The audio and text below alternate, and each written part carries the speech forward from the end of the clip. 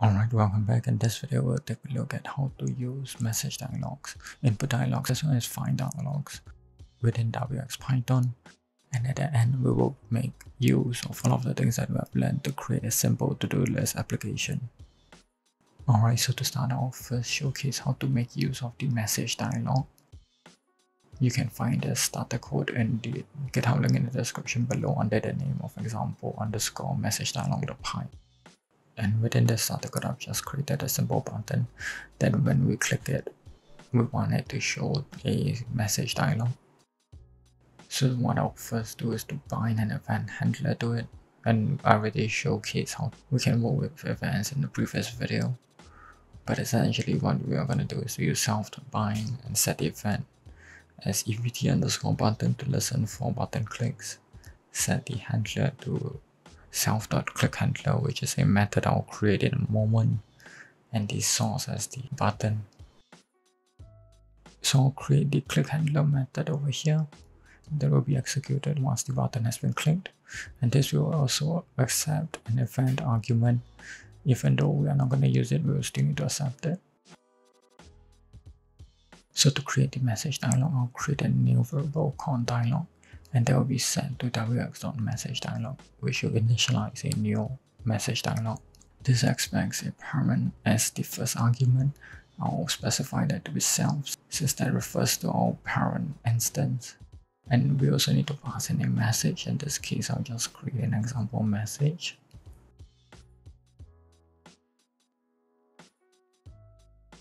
And to, and to actually show the dialog, we need to use the show modal method and if we run our application and click on the button now we have a simple message dialog that shows our message. Now there are a few ways to customize this dialog. The first one is to change the buttons on the dialog. To do this we can set the style keyword argument to for example wx yes underscore no. And this changes the button to yes and no buttons. And we can also specify another style to set the icon for example, you can set the icon to be an error icon. And note that I'm using the pipe symbol here to separate the options since we are specifying two different options here. And this changes the icon of our message dialog. There are other icons such as on icon underscore information. And if you're wondering where you can find a list of all of these options and styles that you can use, you can go to the WX Python documentation, which I'll link below and you can find all of the possible options there. When we create a message dialog, we usually also want to know if the user clicked on the yes button or the no button. And the way that we do that is that we need to store the return value when we use the show modal method. What this show method does is that is that once the user has closed out of the dialog, it returns the button that the user has clicked on.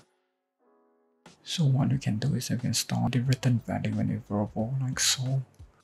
And we can then use a simple if statement to check what button the user has clicked on. And this will be id underscore the name of the button. For example, wx.id um, underscore yes. And I'll just print on something if they did click yes. And if we run our application that part of the code is only ran if the user clicked on the yes button. And this can be really useful if for example you want to let the user confirm if they want to take a certain action and then you can only run that part of the code when the user has clicked on the yes button. You can also further customize the buttons by using dialog.set yes no labels. And what this does is that it changes the labels of the button so the first argument it takes in is the label for the yes button. I'll make this as continue. And the second argument is the label for the no button. I'll specify this to be don't continue. And if we run the application, we can see that the labels have changed accordingly to what we have specified. And just make sure that you set this before you actually show the model so that it is actually applied to the dialog. Alright, the next dialog we'll take a look at is using the text entry dialog, which allows us to receive input from the user through a dialog. So once again, I have the starter code here. In this case, I've already created the click handler and I've bind it to the button click as well. And in case you're wondering, I've used the pass keyword here so that we won't run into an error even though we have nothing inside this method currently. So to start, what we can first do is to create a variable to store the dialog and then we can use wx.textEntry dialog. This expects a parent. In this case, we also use self as the parent and we can then specify a message. So just use enter your name for example if this were if this was a dialog to get the user's name. We will also use the same show modal method.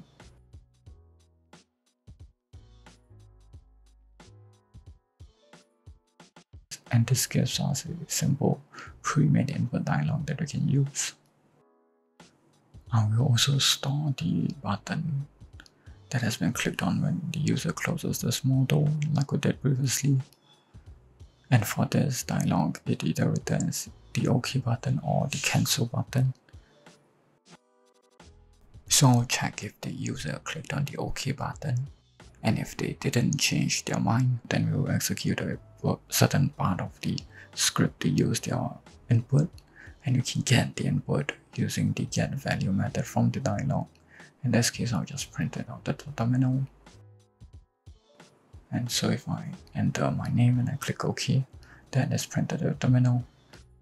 But if I enter my name and I click on cancel or exit out of the dialog, then that part of the script will not be executed.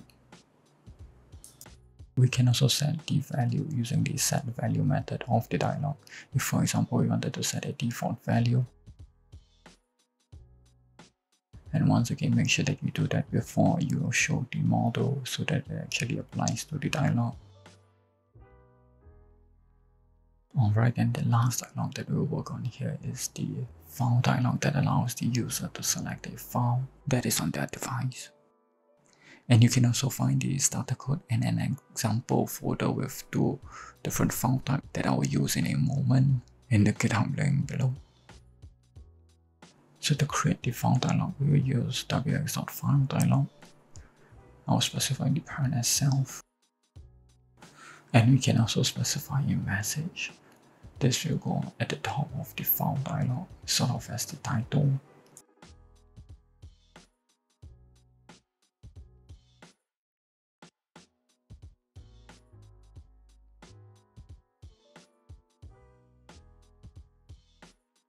If we run application now, we can see that we have a simple, we have the dialog that allows the user to select a file.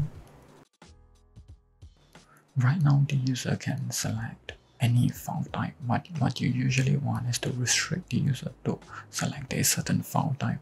And the way that we do that is by using specifying the wildcard keyword argument and specifying something, for example, asterisk.png. And what this does, it is that it will accept any file that ends with .png. The asterisk means there can be anything there. So basically this will allow the user to enter any PNG files. And if we run the application now, we can see that only the PNG files are showing and the other JPEG file is not showing when we use this dialog. Currently, the user can create new files within the dialog by simply entering a new file name within the dialog. This can be really useful if you want the user to create new files within your application. Like for example, you are using the dialog to allow the user to open a previously saved file. Then you probably want to restrict this dialog to only accept files that already exist. And the way that we do that is by specifying the style keyword argument to, for example, wx.file fd underscore file must exist. And this is just a styling option that ensures the user is selecting a file that already exists. And so now if we try to use our dialog to create a new file, for example, and that file doesn't exist, then we will get an error directly from the dialog. Another option that we can specify, which I'll separate with the same pipe symbol, is whether we want the dialog to allow the user to open a new file or to save their file, which you can specify like so and this just changes the buttons within the dialog. Another option is fd underscore save which which changes the button to save and cancel. But I'll just change mine back to FD underscore open. And we can do the same thing of checking if the user clicked on the wedge button. In this case, this show modal method will only return either id underscore ok or id underscore cancel. So although the buttons within the file dialog either says open or save, we need to check for it by using id underscore ok, just because that's what the show modal method returns here. And if the user did click on either open or save, in the case that they didn't change their mind, we can then execute a certain part of the script. In this case, I'll just print out the path of the file that they've selected, which you can use the get path method, which, which returns the absolute file path of the file that they've selected. Alright, and the last thing that I'll showcase how to do is to use what we have learned with all of the dialogues so far to create a simple to-do list application. And I've included the starter code in the same GitHub link in the description below. And I've already set up all the widgets that we will need as well as the layout. If you're wondering how to create layouts within WX Python to create the layouts that you need for your application. I've showcased how to do that in one of my previous video in this tutorial series which you can find on my channel as well. So when the user clicks on the add task button, we will show a dialog that allows them to enter a new task that is then added to this list widget that we have and when they click on the export task, it allows them to store all of the tasks that they've added within a text file. And we will use a file dialog to let them choose that file. And the widget that I've used to display the task is using a list box, which just displays multiple strings with a single line each, which you'll see in a moment. So first work on the add handler over here that is executed when the user clicks on the add button. And what I want to do first is to create a new text entry dialog to allow the user to enter the task. And I will just ask the user to enter a new task.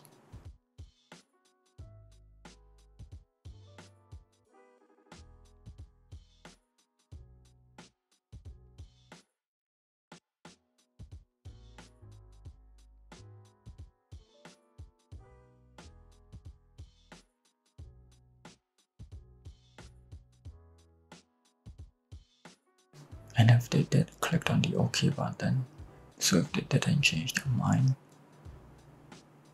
then I'll add it to the list widget, which you can do using the pen method and specify the string that you want to be added to the list widget.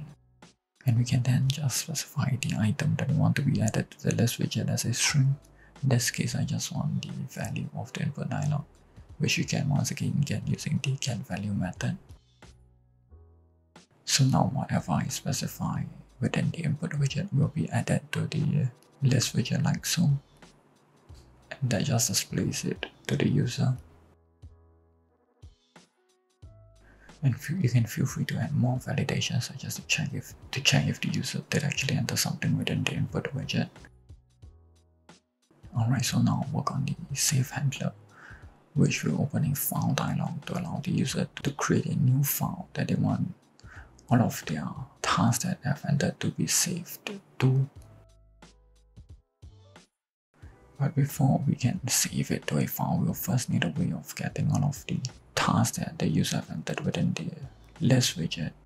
And the way that we get that is using self.list.get strings, which returns a list of all of these strings that is within the list widget.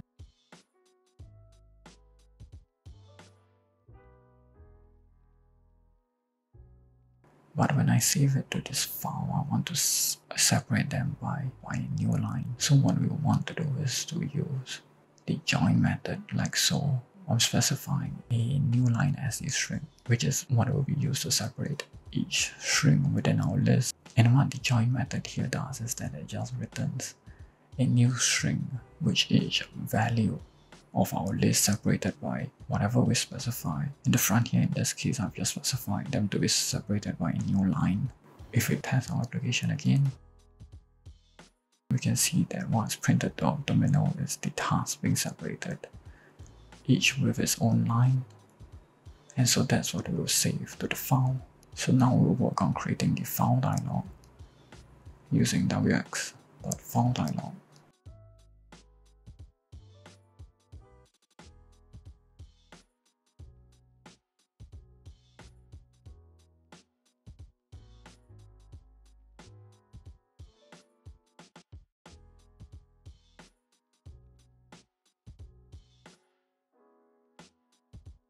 Also specify a wildcard to restrict file types our dialog is accepting here.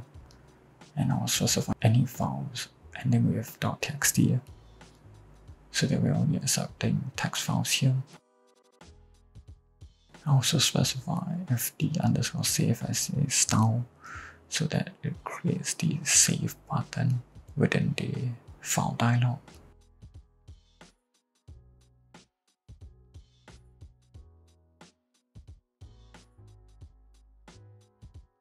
And remember that even though the user will click on the save button, what the button that is written here is the OK button, since that's just what the show modal method returns here. In the way that we write to files using Python is using a context manager, which you can write like so.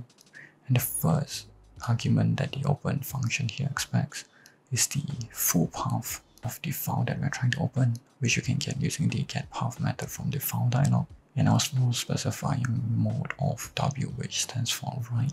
So this will allow us to write to the file and also note that this will override the file if it already exists. I'll specify this as s file so that they can refer to it as s variable. We can then use file.write and specify the string as the value that we want to be written to the file. In this case, we just want all of the tasks being separated by new lines, which we have already done up here, so I'll just copy it over.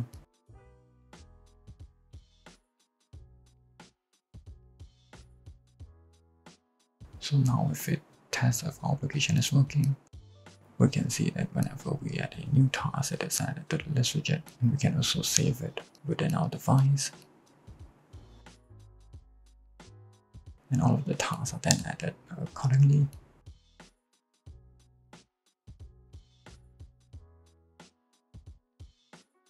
And that's all for this video. If this video has helped you, please consider possibly liking this video or subscribing to my channel to help my channel and to watch more such content.